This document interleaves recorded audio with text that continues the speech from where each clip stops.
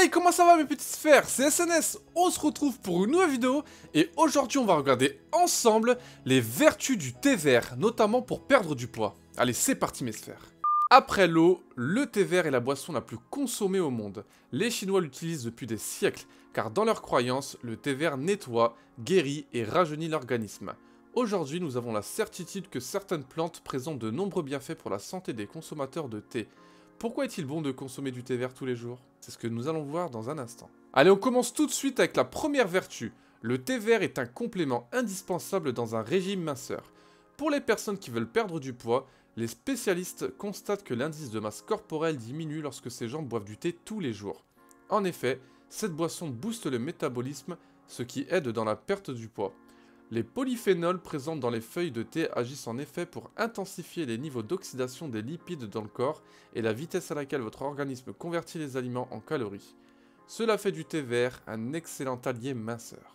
Le thé vert est également un diurétique naturel, ce qui le rend idéal pour traiter et combattre la rétention d'eau, une des causes majeures de prise de poids.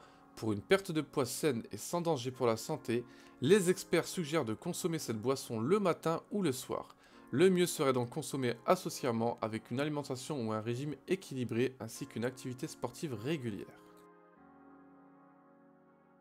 Deuxième vertu, le thé vert réduit le stress, un facteur probable de prise de poids. On soupçonne depuis longtemps que le stress est lié à l'obésité. Le stress chronique peut conduire à une alimentation réconfortante, celle-ci implique souvent un apport riche en matières grasses, en sucre et en calories. L'utilisation supplémentaire d'aliments naturels aux vertus diélétiques pour prévenir l'obésité présenterait d'énormes avantages pendant les périodes de grand stress.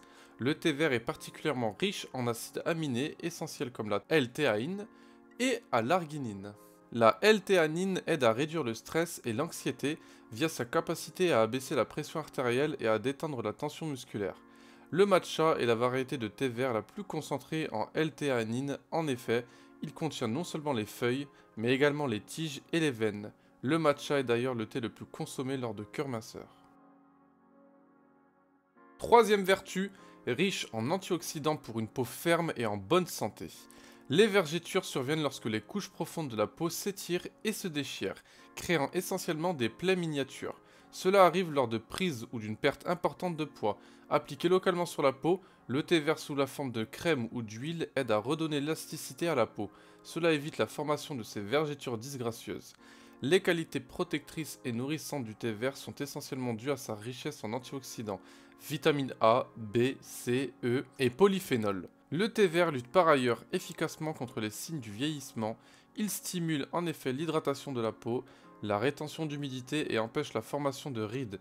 Il aide aussi à réparer les dommages cellulaires provoqués par l'exposition prolongée au soleil. C'est pourquoi les propriétés médicinales du thé vert sont nombreuses, de même que les manières de les consommer.